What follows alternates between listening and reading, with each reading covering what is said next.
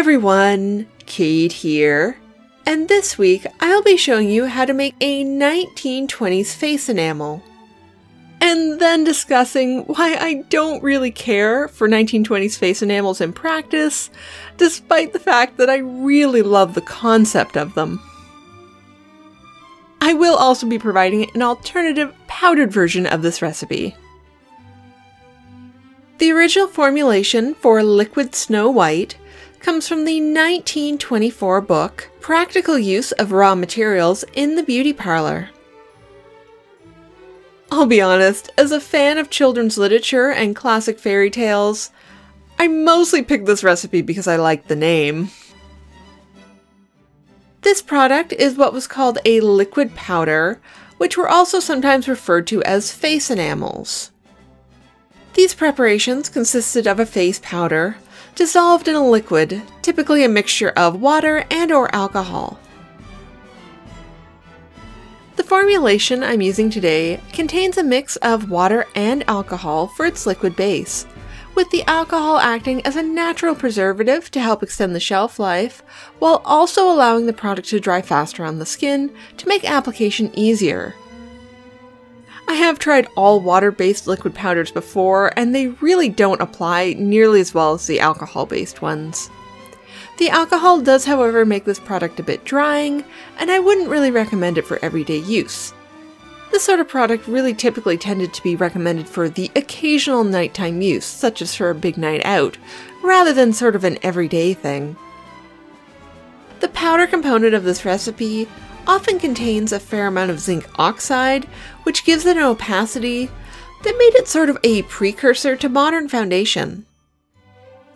Just a note, while this is quite a light colored powder, any of my powder recipes can be adapted for different skin tones.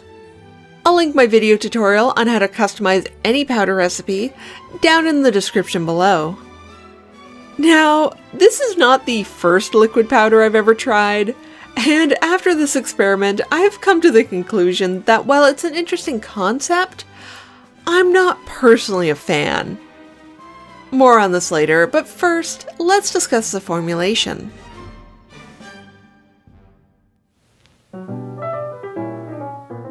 For this recipe, you will need 19 grams of orange flower water or neroli water, 18 grams of an alcohol. Now, the original formulation recommended eau de cologne, but to avoid excess skin irritation, I've just used 18 grams of vodka, plus 3 drops of rose geranium essential oil. 10 grams of zinc oxide. And lastly, what was supposed to be 2 grams of talc. Now, I don't use talc due to safety concerns, so I've substituted in 1 gram of kaolin clay and 1 gram of calcium carbonate. Although in retrospect, I probably should have just used the calcium carbonate, as kaolin was used more in powder powders rather than liquid powders, whereas calcium carbonate was often used in both. This is a very simple recipe, all you need to do is put everything together into a container and mix it thoroughly.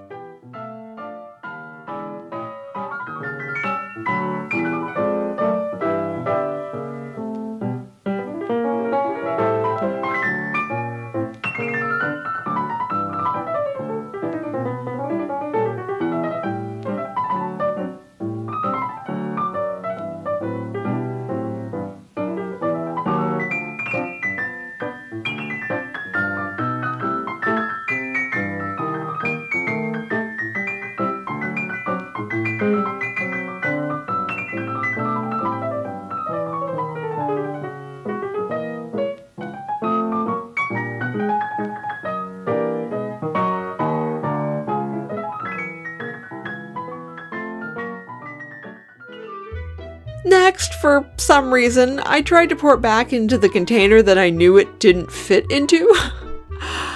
yeah, I I don't know what I was thinking either. I was rather tired at the time.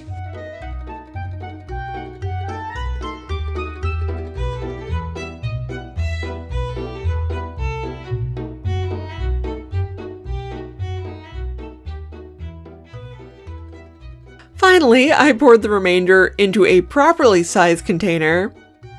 With any liquid powder product, you do want to pick a container with a tight fitting lid, as this type of preparation tends to separate over time and will need to be shaken well before each use.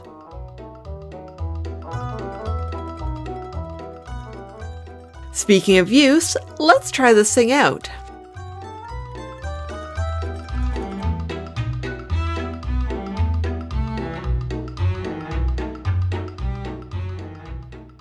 Yeah, it's interesting. and yeah, I can understand the name. But even on my super pale skin, this is not a good look. The zinc oxide really gives it that white sunscreen appearance, which is just not, not flattering.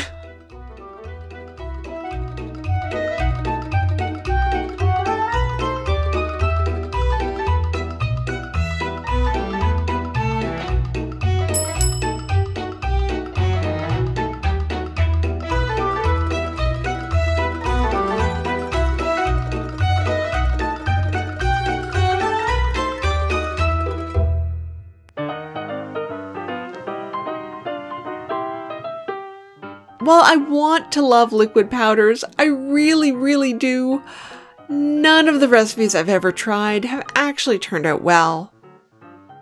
They are messy, hard to apply, and tend to leave streaks of pigment on the skin, even if you're super careful. I also find them less comfortable to wear than a true powder.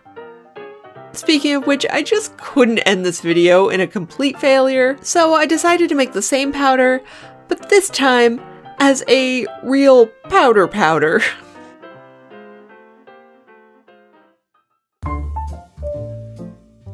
For this version of the recipe, you will need 7 grams of zinc oxide,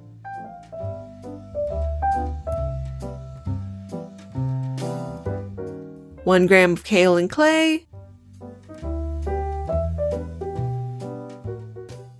1 gram of calcium carbonate, 3 to 6 drops of rose geranium essential oil, depending on how scented you like your powder, and 35 grams of starch. You can make this powder more sheer by either using less zinc oxide or adding more starch. You may wish to also add in 5 drops of jojoba oil and a drop of vitamin E oil to help the powder better adhere to the skin and to prevent it from becoming too airborne while applying. Pour the powders into a makeup only coffee grinder.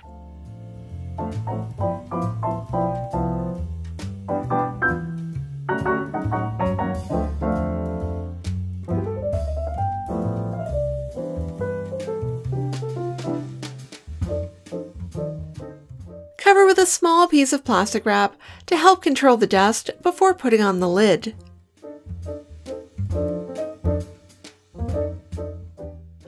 Speaking of which, be sure to always wear a good quality dust mask when blending any sort of powder to protect your lungs. Grind everything together for 30 seconds.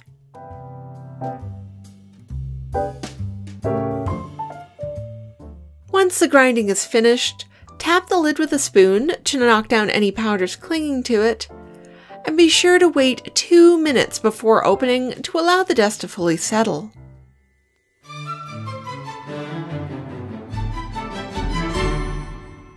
Add in the oils and then repeat this blending process.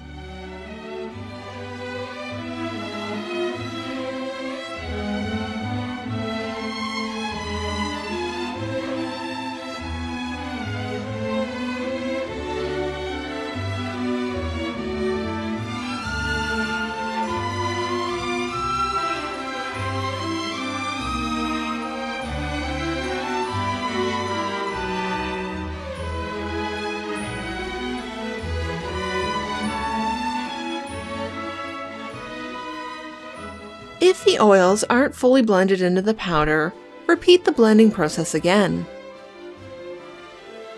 Mine looks good, so I'm ready to spoon it into a jar.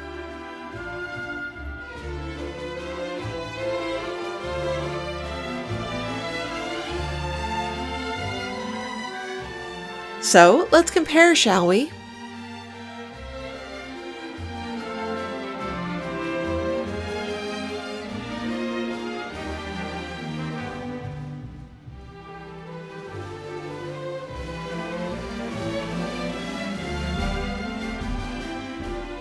We will start by once again applying the liquid powder. I'm only applying it to one side of my face so that I can apply the powder powder to the other side for a direct comparison.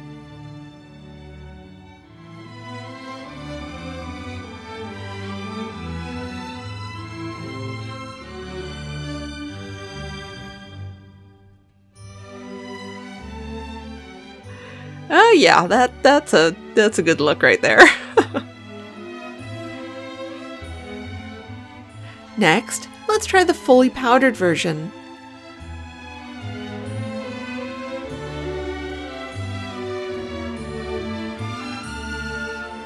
So, after comparing the two, I can say for certainty that I prefer the powder over the liquid.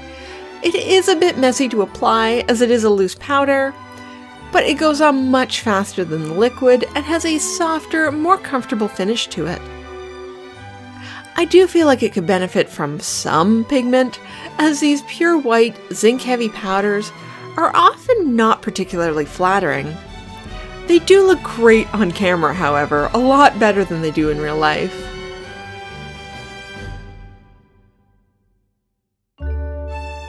So there we have it, Snow White powder in both liquid and true powder form.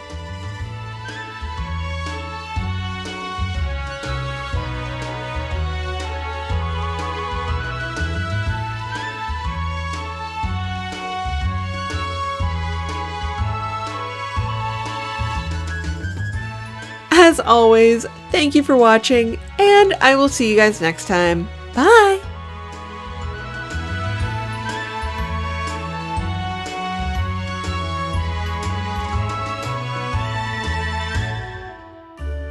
This video is made possible through the generous support of my Patreon members. Thank you.